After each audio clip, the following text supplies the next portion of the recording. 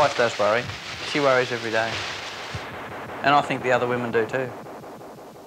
I think they're pleased when their husbands say, um, well, honestly, I think the wives get onto them every morning of a, of a bad day.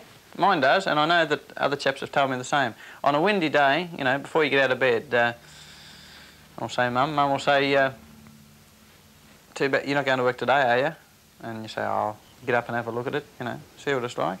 You have your breakfast and they cut your dinner and uh, you shouldn't be going down there today.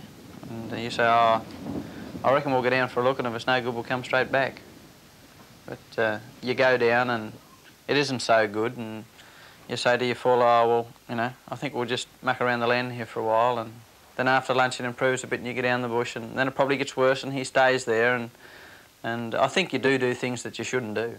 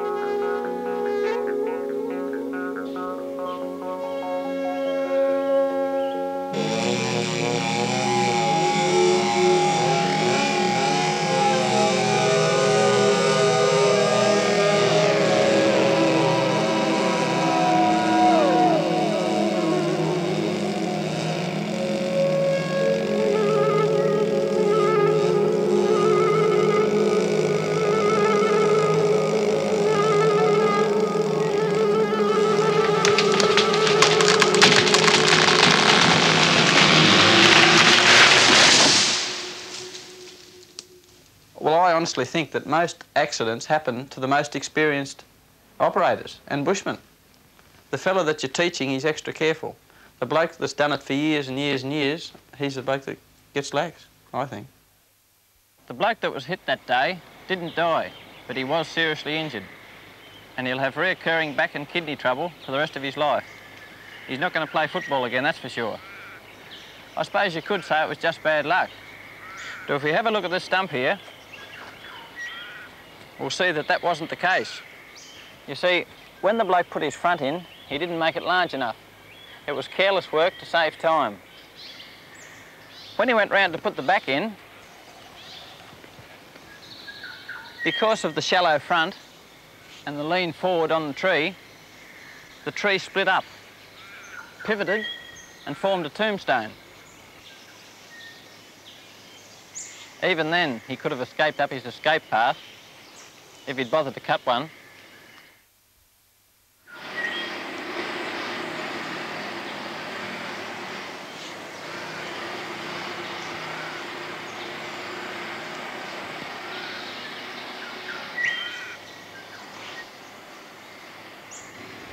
And then there's all the stuff you've got to contend with. It's not just the bad weather. There's lodgers and springers. The treetops conceal widowmakers. You've got rough terrain and downers, and no matter how sound a tree might look, it could be diseased or full of rot.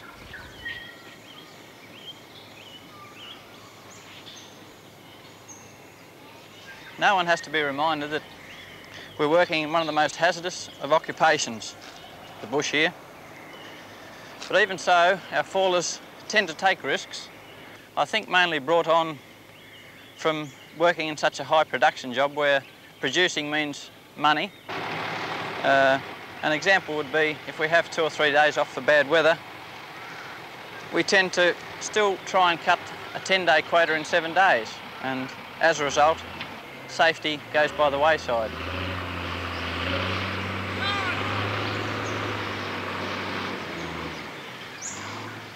We must remember that when we're in the forest, we're out of our element and very vulnerable. We wear strong hard hats to protect our heads. Of course, these hats must be in good condition. It's not much use having a cracked helmet. That's not going to stop much. The boys also like the idea of these ear muffs. They want to protect their hearing. Strong footwear is essential in this job. We wear high leather boots, waterproof, that give us good support to the ankle with steel caps. Our bushman, who has a lot rougher going than what we do, prefers to wear spikes. That's his choice, and a good one.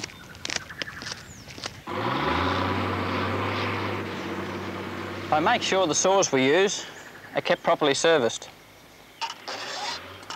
All the safety features are kept in good working order, such as this handguard incorporating the chain brake.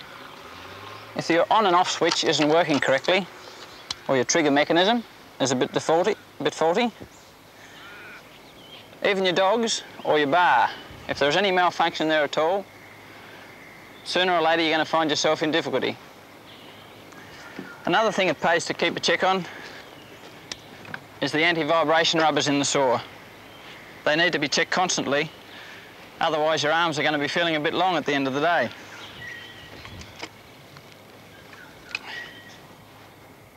There's only one way to hold the saw, and that's like this. Front hand gripped firmly around the handlebar, thumb tucked underneath. Don't hold the saw like this, with your thumb loosely on top or around the front. If you do, anything could happen.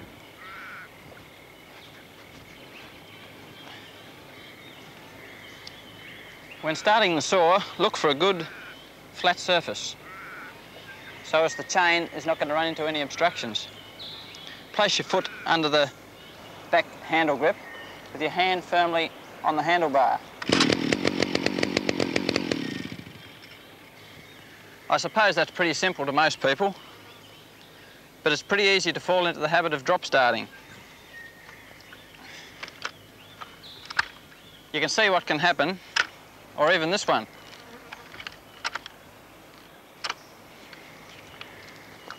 Of course, when you're working in the bush, it's not always easy to find a flat surface, but there's plenty of stumps around, and they act as a good substitute.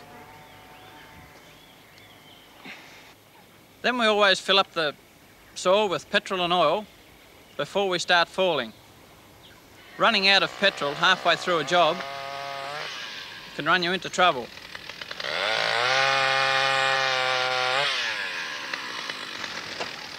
Where you heading, mate? Oh, down, these couple of rough ones down here in the gully. Yeah, then I'll see you after. 98% of all accidents happen within seven metres of the stump. But Jack's an experienced faller and he takes precautions to reduce the risks. He's got pretty rough going in there. The first thing Jack will do when he reaches his tree is uh, check it for widowmakers.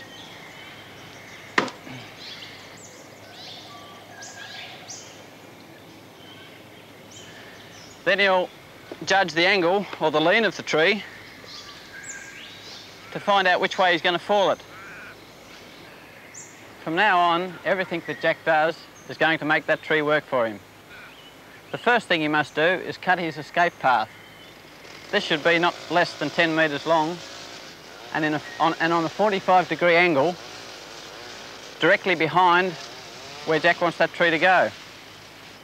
When that tree starts coming down, Jack wants to get out of there fast.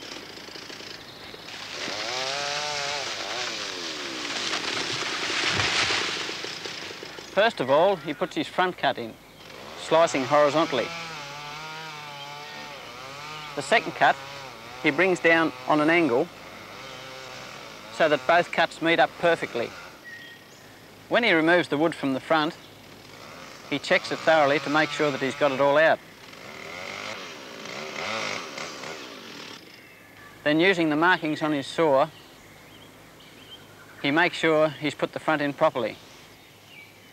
With his back cut, he must ensure that the tree is going to fall cleanly.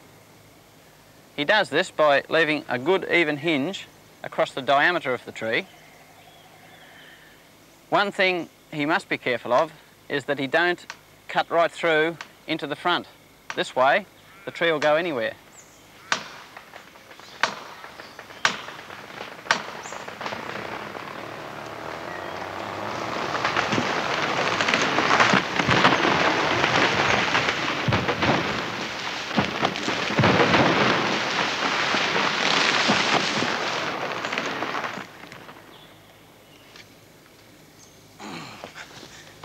Rough in here. If you take a look at any stump, it'll tell you how the tree's been felled. Let's have a look, look at this one here. You'll notice Jack has put his front cut in, a third of the diameter of the tree. It's a good clean cut, which has enabled Jack to have proper control of the falling situation. He's made his back cut the right height. That is at least an inch above the front cut for every foot of diameter of the tree.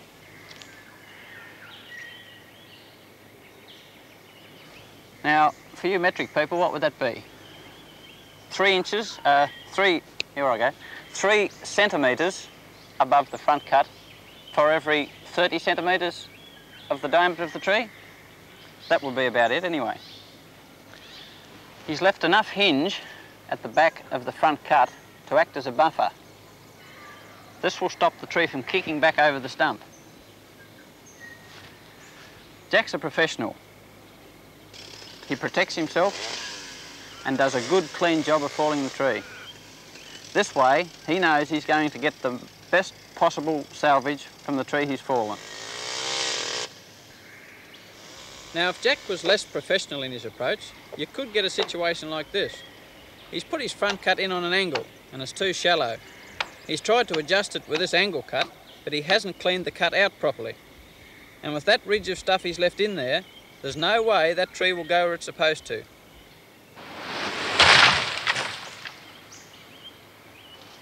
You'll also notice no escape path and no helmet. It's a dangerous and careless way of doing the job, and if you don't watch it, things like that can become a habit.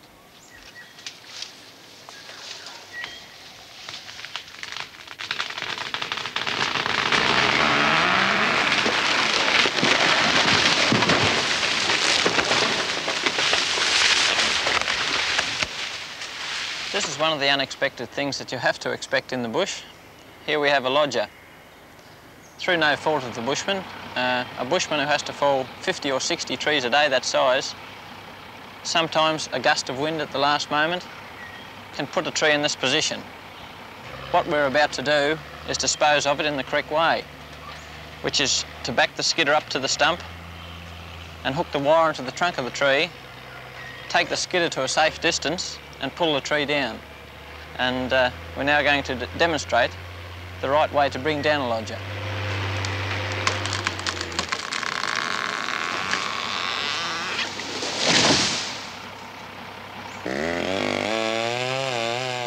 When a tree's hung up in another one like that, you just don't know what it's going to do. It's just as likely to slip to the side as anything. I've seen fallers try to bring down a lodger by putting in a new front cut and back cut.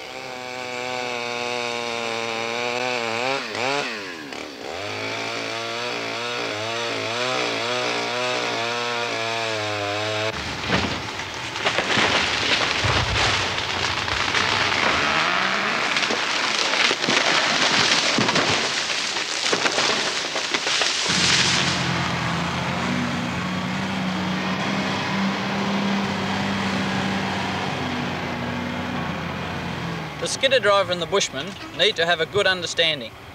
On returning to the falling area, the skidder driver should stop, cut the engine, and wait for the faller to call him in.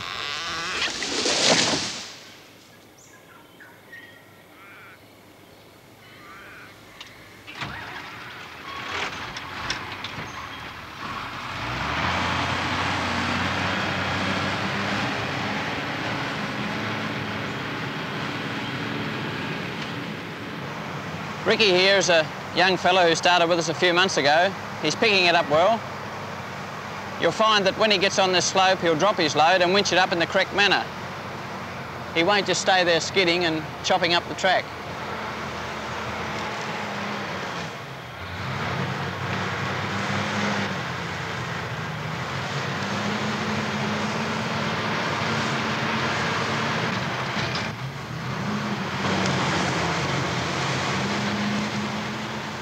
Also make sure there are good strong canopies protecting our drivers. These ca canopies are factory manufactured, meet the standards of strength and durability. I make sure that our tyres are in good condition and everything in good working order. Of course, the way these machines function depends on the skill of the driver. Some drivers tend to show off, which doesn't really get them anywhere. All that does is endangers themselves and their mates.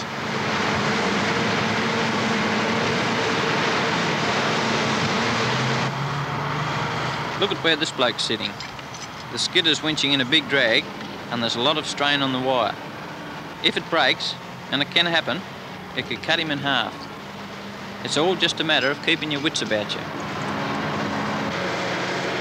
When you're working around trees that can weigh 10 tonnes and even more, the accidents are usually pretty bad. So what do you think about when you're falling a tree? I don't know. I suppose you're listening, watching, listening for any change in the saw, adjusting angles, even thinking a bit, I suppose. Out here, you're against nature. There's only a code, self-preservation. And if you're going to get home to your wife and kids, the onus is on you.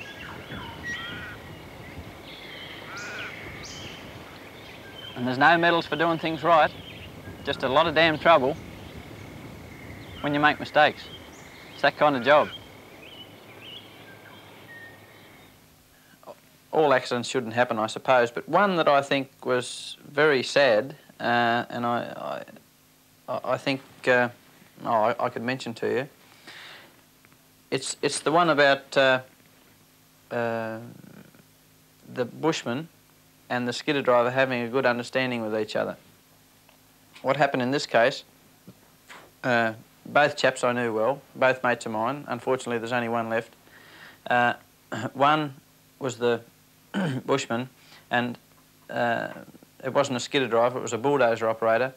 He went in with his drag to the landing, dropped it, and came back.